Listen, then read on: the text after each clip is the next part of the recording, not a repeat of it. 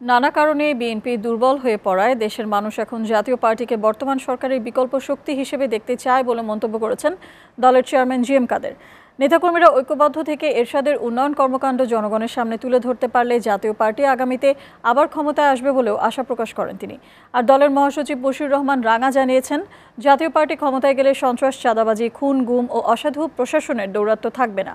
দুপুরে ঢাকার ইঞ্জিনিয়ার্স ইনস্টিটিউশনে জাতীয় স্বেচ্ছাসেবক পার্টি ত্রিবার্ষিক সম্মেলনে এসব কথা বলেন তারা। এসিউ সেলিমের প্রতিবেদনে বিস্তারিত।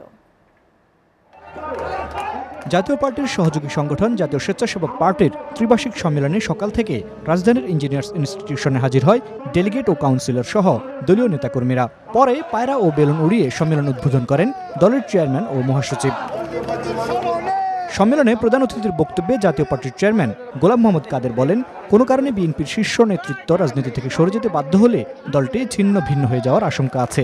এই অবস্থায় দেশের মানুষ জাতীয় পার্টিকে সরকারের বিকল্প শক্তি হিসেবে দেখতে চায়। দুই নম্বর দল যদি কোনো কারণে হারিয়ে যাওয়ার অবস্থা হয়, তাহলে নিশ্চয়ই সেই জায়গাটি দখল করার জন্য তারা জাতীয় পার্টিকে চায়।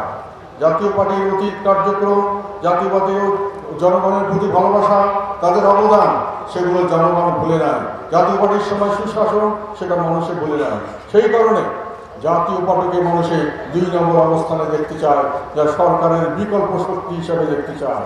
সম্মেলনে প্রধান বক্তা দলের মহাসচিব মশিউর রহমান রাঙা বলেন জাতীয় পার্টি ক্ষমতায় গেলে দেশে সন্ত্রাস চাঁদাবাজি ক্যাসিনো ব্যবসা এবং প্রশাসনের দৌরাত্ম্য থাকবে না। হুসাইন মোহাম্মদের সাথে যে বাংলাদেশ সেই বাংলাদেশ আমরা আবার নিয়ে আসতে পারব ইনশাআল্লাহ।